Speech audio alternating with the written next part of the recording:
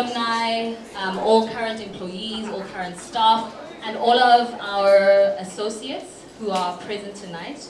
Your presence this evening is really, really welcomed and we really just hope that you have a great time with us. Over the years, we've said hello and we said goodbye to um, a number of people. A lot of people have gone on to complete MBAs, some people have gone on to start companies, and one person in particular has gone on to become the President's Economic Advisor.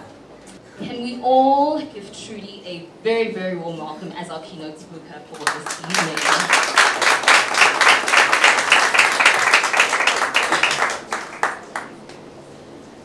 Thank you, Boithepo, for that warm welcome. And it's good to see everyone here. I think in all my time um, at Genesis, I've never seen so many people in this space. Um, so it feels interesting, int intimidating. I'm used to crowds. Um, seeing a crowd in this context is, is not um, in my experience. So to begin with, of course, I'd love to say congratulations uh, to you, Stephan. Um, I think this is an amazing achievement, 20 years um, is you know, a wonderful time uh, for somebody who started a company. Uh, we, we all know the dire statistics about South African entrepreneurship, but I think once you made it past the 20-year mark, um, you know, you, are here to stay. we don't have to worry about you. It was really um, an amazing experience. I think being in the banking practice in particular and working with clients in the real economy, um, you know, was very different from the parts that many other economists take. Uh, you know, many would go uh, into government, reserve bank, treasury, competition commission, etc. Many would go into banks. Uh, but very few, at least at that time, were in consulting uh, in that sense, where you're client-facing, you're dealing with uh, business problems. And I think that has um, stood me in good stead um, in terms of an appreciation uh, of business in a way that economists um, don't always have. Um, and also coming from a different perspective uh, that the traditional macroeconomist also gives you uh, a different perspective. I didn't work in competition when I was here, but I was exposed to it, and it was also quite a natural um, and a seamless entry uh, into the competition commission when, when I eventually uh, went there. So I feel like as an economic advisor uh, to the president, Genesis is an important part um, of my story. It sets me apart, um, I think, from other economists. Um, it also, you know, embeds me in a community um, of um, Genesis um, alumni. I'm not sure if it's the most active alumni network, but you always know it's there, uh, you know, you, you have the informal networks uh, at the very least. Um, so, so that has been wonderful. So it's good to see everyone here. It's good to see that Genesis still plays that role um, in nurturing young economists, new economists. Uh, but I suppose it's also at a stage where you know um, there are multiple entry points at different um, career paths uh, and, and, different parts uh, of people's careers. I bump into Genesis work, you know, all the time. Um, last year, just after I had a baby, I was uh, the lead writer for the high-level panel uh, led by President Motlanthe, uh, which was a very consuming process. But one of the studies that was cited in the land reform part was a, a Genesis audit of land claims, and I, I just couldn't imagine, fathom, um, that this is the kind of work that Genesis does. So it's, it's, quite interesting to see it in completely in areas that had not been um, an area of focus when I was here. Um, so it, you know, it really speaks to the growth uh, and the development of the firm. So once again, congratulations. Um, I hope you have a wonderful evening.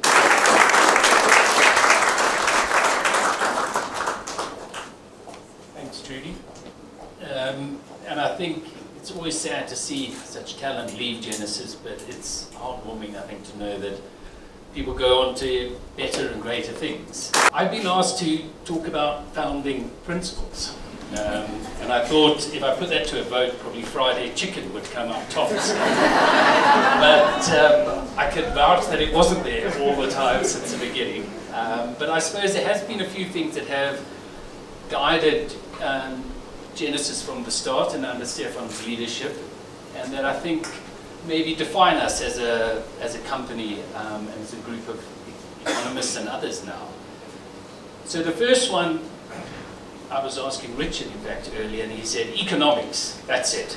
I remember having a fight with Richard five years ago when he wanted the name economics out of our, our um, letterhead because he felt that limited us too much. But, but I think economics is what defines it, um, or a defining feature. And I know we're not all economists. Um, yeah, there's a doc, stray doctor. I think the second, for me, is maybe the rigor, the passion, and the problem solving, and probably all of those together. I think you can get clever people. We hire clever people. Um, they're well trained, they have insights, but it's how you use that. And that's what I think is another distinguishing feature for me, that it's been a privilege to work for people, with people that have such passion to solve the problems before them. Um, it's evidence-based. We don't just accept the conventional wisdom. We check, because um, too often things and debates in public are led by conventional wisdom. Labor laws are ruining employment, etc., etc. Um, this will undermine foreign investment. But it's a fact-based inquiry that really is what sets us apart. But then the passion and the problem solving. So, and often that passion problem solving is not driven by commercial. It's in fact driven by just the desire to assist, solve a client's problem, whether that client is in fact a pro bono work, a small client or a big client. One of, I think, the, the big award-winning cases we've done on the auto parts, I remind the Commissioner that they had abandoned that project in, in attacking sort of aftermarkets and spare parts and the pricing. And for a mere 100,000 Rand, we reunited that entire um, case, moved it forward, and now it's going to be a flagship program coming out of the Competition Commission. We weren't rewarded, but we drove it, and that's what drove us. So I think for me, that passion is, is important. It's, and again, I'm going to go back to Marx just to annoy everyone tonight. Marx's concern was about wage slavery, and it wasn't the salaries you get paid, um, which I know you may think is slavery, but, but it was about the lack of fulfillment and creativity in, in work. And, um, and I think for me, I find it hard to associate with that because I feel within Genesis at least, it is rewarding, um, solving those problems. Maybe the third, those who know me will probably predict, ethics, independence, integrity would be the third one I would put up. I think, you know, whilst we all point to government at the moment, I think the most astounding thing is how our own profession and other professionals have been so unethical um, across the board, and and that for me has stood out. Um, that, in any sort of corruption there's complicit um, partners, and the, our profession is one. And I think it highlights another issue for me about, and which I've started to uh, assume or maybe realize about a bit about independence. Um, within the consulting commercial world, there's also um, a lack of independence from business sometimes. That one takes on the view of business. They're your clients. That's a natural sort of association. And it's not the corruption that we've seen with the Bains and McKinseys, but it can be equally destructive because it, it pushes a particular perspective forward.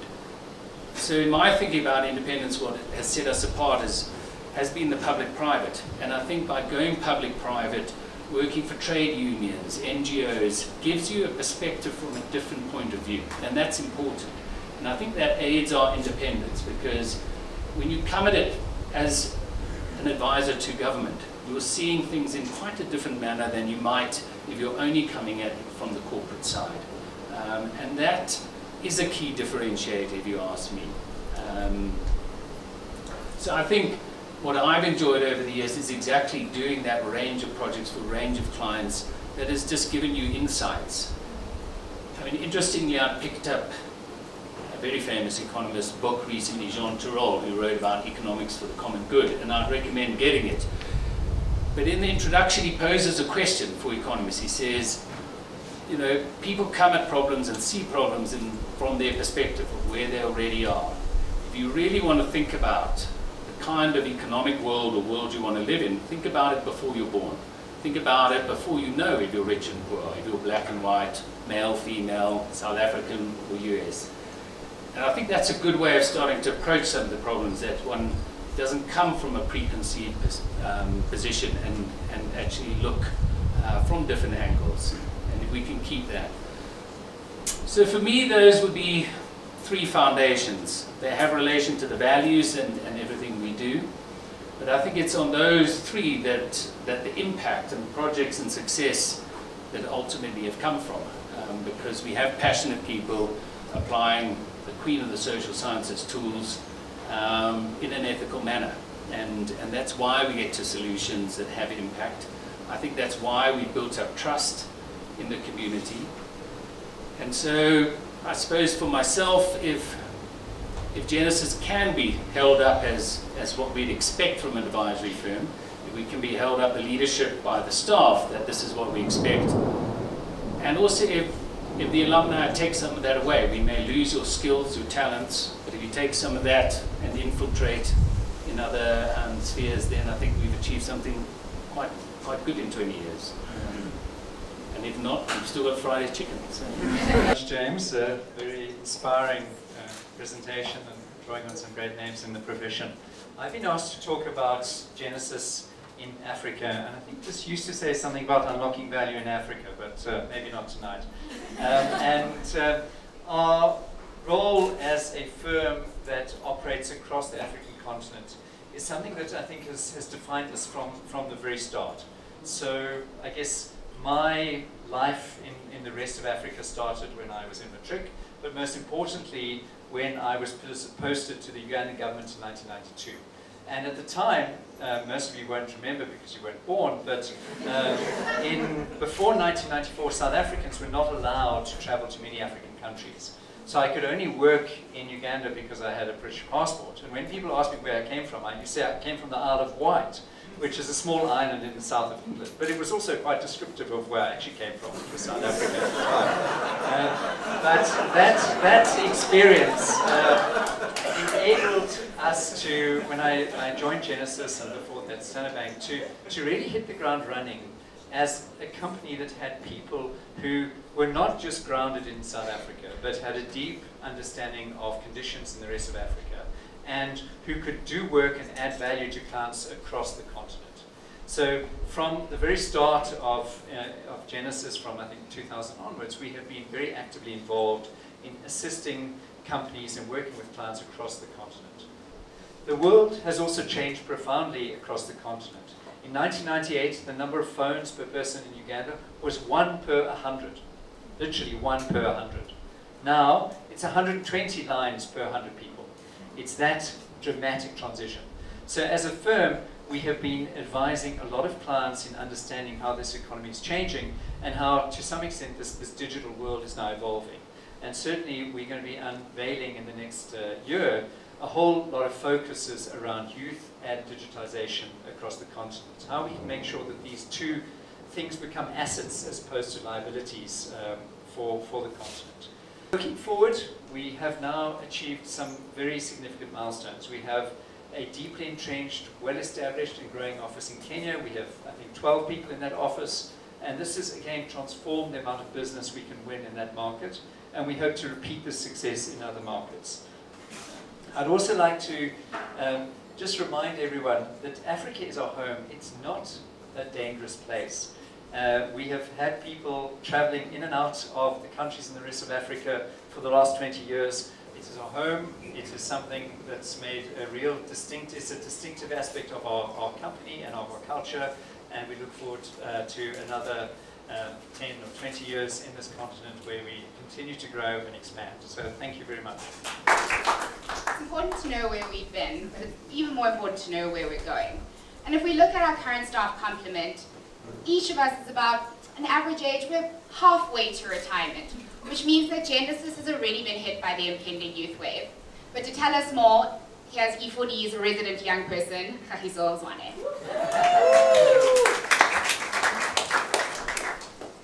Good evening, ladies and gentlemen. We all know that Africa's population is set to explode in the next coming years and is set to grow by over 1 billion people.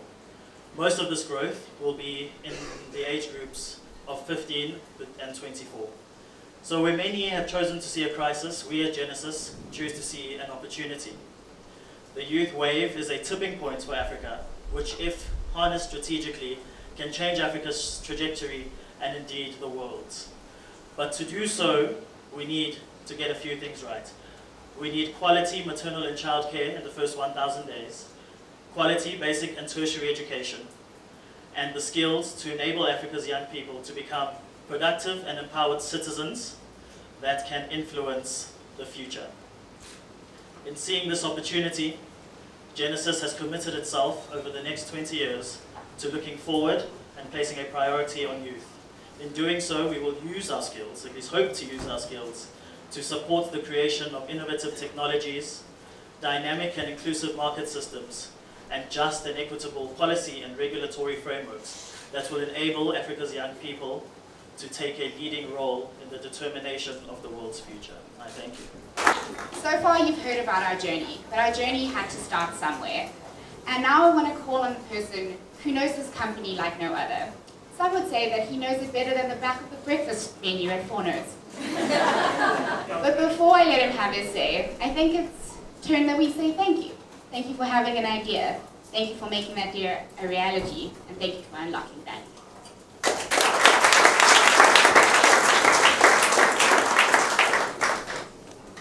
Thank you, Ashley. I just want to say that I'm really touched uh, to see all of you um, and to see so many. And I think I'm speaking not only for myself, but also for James and also for Richard, as the, three of us having been at Genesis, if not from the start in a calendar sense, but I think from the start in a, in a spiritual and a, a sense of purpose sense. Um, so on behalf of all three of us, thank you very much to all of you for being here. And Judy, thank you for coming back. Thank you. It's been a while. Um, and I think I should say this to you. Um, we here in this building were so excited um, and proud uh, when you took your, your new job. Um, and it's an inspiration for, for the people who knew you, you when you were here, but it's also been an inspiration and continues to be an inspiration for all of the people that you heard speak. And as you can hear, this is a young company. It's a, our average age is 29, actually. Um, and it's really in our young cohort that, that the future, not only of this company lies, but also of the work that we do. And I think the role that you play in their lives is something that you may not be aware of, but it's, uh, it's real and it's, um, it's evident, certainly, in, uh, in, how they receive the news of, of what you are doing now and what you're doing for us now. I want to thank all of you. I want to thank the alumni. Um, and I want to thank our current team. And I, I want to thank you for coming. Not just for coming tonight, but for coming to Genesis. And what you did by coming was that you made it. You changed it. And what I hope for the alumni is that in some small way, some small and happy way, we changed you. And what I hope for uh, the team who's with us now is that in some small way, we're changing each other. I, I want to say something about how we started. We really just started with two people, one person, then two people. And what we, what we had was, we had a tool and we had a belief. The tool, to your point, James, was economics. And the belief was that we could use economics to get people to make better decisions. And those could be very powerful people, very wealthy organizations, politicians, ministers, leaders, but it could also be the powerless, who can also, through their decisions, change many things. And I think what the work that was presented here this evening speaks for itself much more eloquently than I can. Uh, that I think at times, in the last 20 years, we have succeeded at that. Firm has changed from an economics-only firm to a firm that has economics at its roots, but understands that the world is a complicated place. Too complicated for economics to understand a lot of the time. So that's a big deal for us, is that we've become a multidisciplinary firm, and I think it's probably the biggest thing that's happened to us in the last, let's say, 10 years, uh, is, that, is that change. In the world, though, in which we work, um, this world in which we have worked and worked so happily and so successfully, that world is about to be upended. It's about to be upended because of Kagiso's point that he made about the youth wave, the demographic change that is, is happening now and will continue to happen for another 15 to 25 years in the region. Admittedly less so in South Africa, but big time, big time in the region. It will be the most important event of our lives, there is no doubt. And our world will be upended because of technology. Our world will be upended because of climate change. Three great forces that will influence the areas in which we work, the things we want to get done, will be the interplay of demography, of the youth wave, of digitization, and of climate change. And our job here in Genesis is to make sense of all of that and to get done what we want to get done um, uh, with, with a clear knowledge and deep capabilities in those areas in addition to the areas that we service now.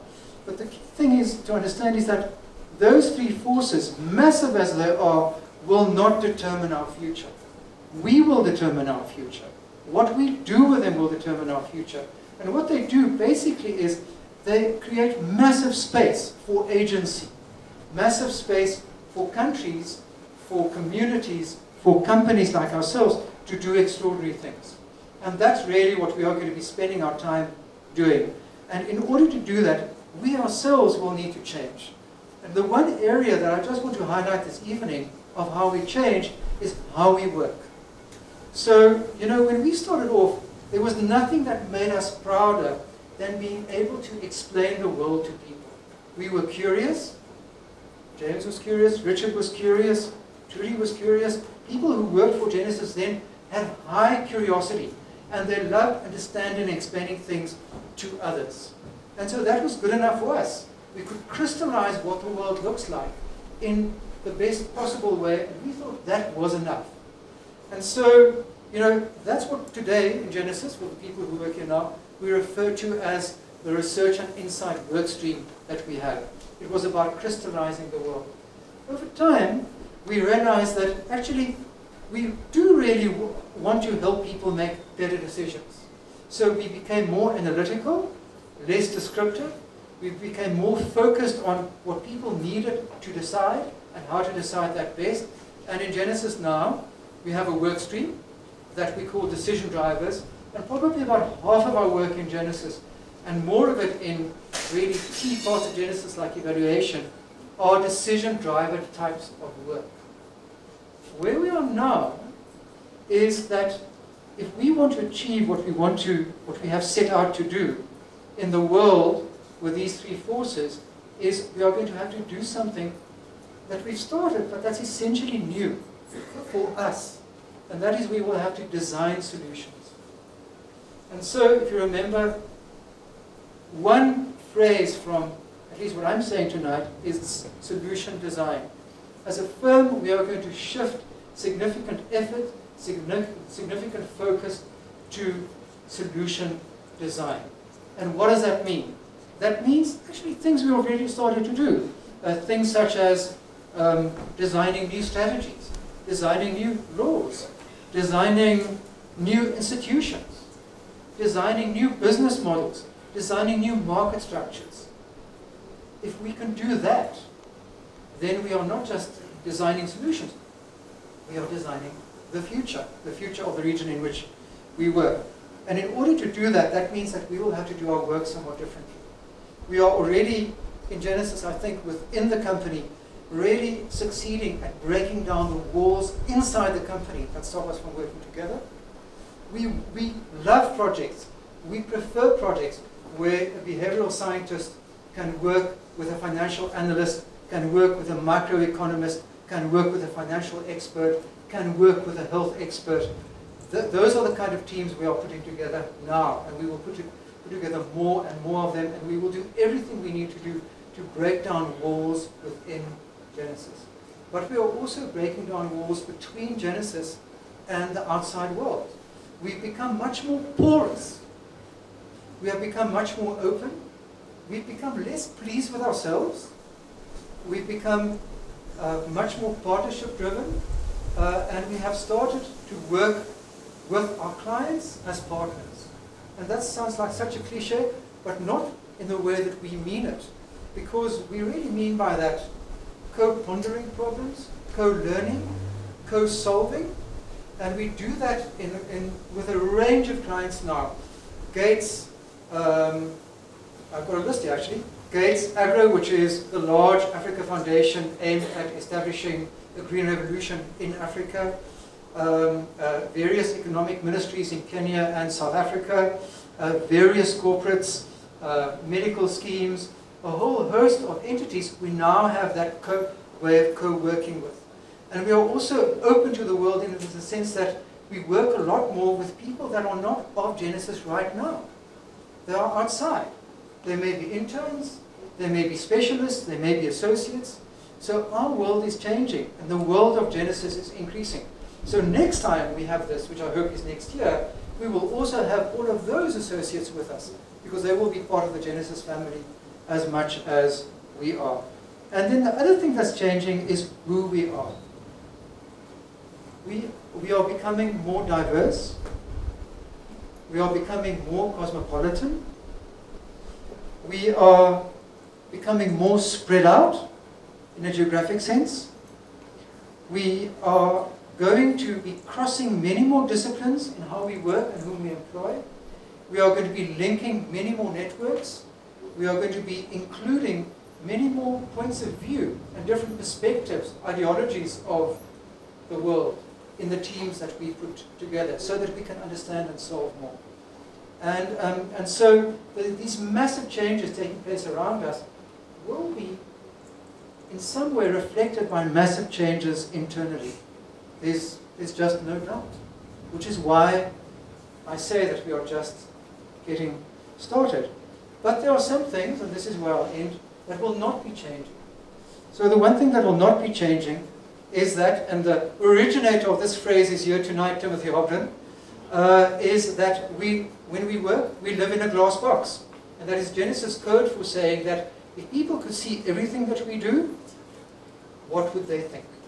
And how would we feel? Which goes to the ethics point that James underscored. Also, we believe in building ourselves as and each other as individuals. The people who work here, the people with whom we work in client, the people with whom we work in partnerships. That building of each other as individuals.